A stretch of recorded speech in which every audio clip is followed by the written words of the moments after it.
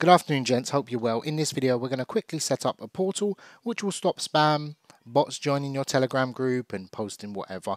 So it, this is going to be the best way to sort of set up and it also is great for privacy because if you've got a public group anyone can just click without joining and read the message. So it takes about 30 seconds to set up.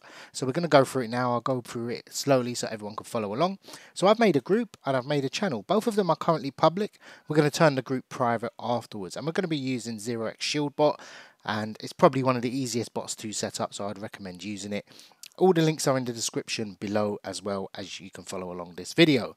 So we've got the channel and we've got the group. All we need to do now is we're going to add the bot to the groups. So first thing we want to do is add the member.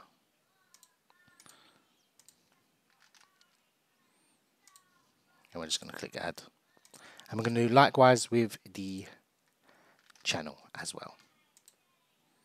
So that's perfect. That's added make admin, make sure all of them are ticked.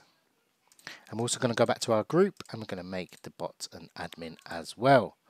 So once we've done that, all we need to do is go over to the group, type shield group, and we can go ahead and copy that into here. Now we have our group verified. We can delete that.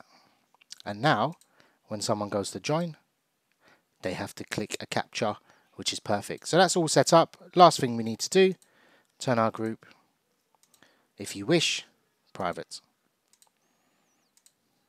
And there we have it. When someone clicks over and verifies with the shield, they'll join into the group. Hope you enjoyed this video. If you have any questions, please post below.